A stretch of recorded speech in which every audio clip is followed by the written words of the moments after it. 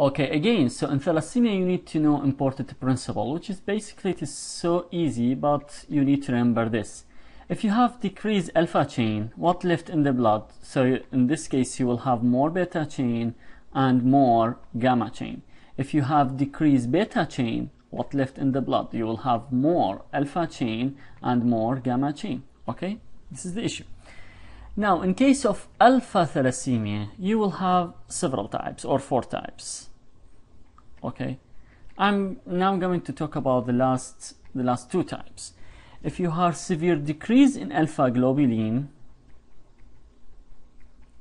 okay, it is two kind.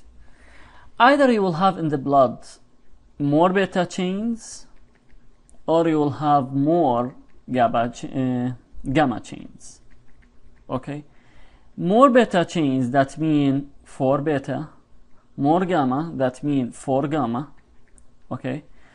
4 beta means the hemoglobin is hemoglobin H and he and 4 gamma means the hemoglobin hemoglobin BART okay? What you call this? We will call this as 3 gene deletion and we will call this as 4 gene deletion. Both of them, they have hemolysis, but this is 4 gene deletion, that's mean spontaneous abortion incompatible with life.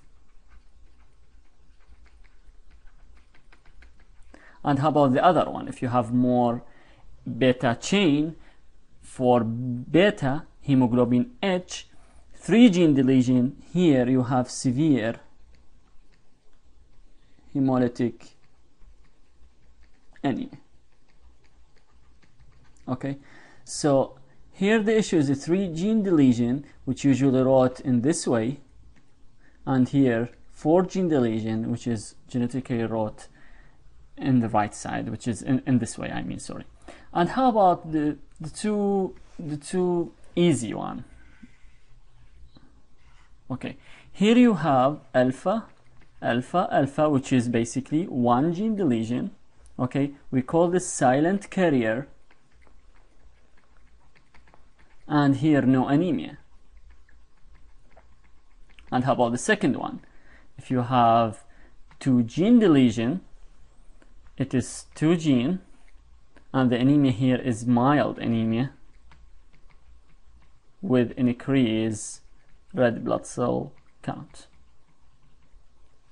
Okay, so you are you are with me. I hope you are with me. If it if we start again, so this is we call this one gene deletion, silent carrier. This two, two gene deletion, mild anemia.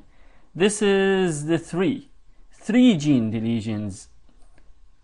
What left? Four hemoglobin, four beta chain, hemoglobin H, severe hemolytic anemia more severe, which is the fourth one, gamma chain, 4 gamma left, hemoglobin BART, spontaneous abortion, incompatible with life.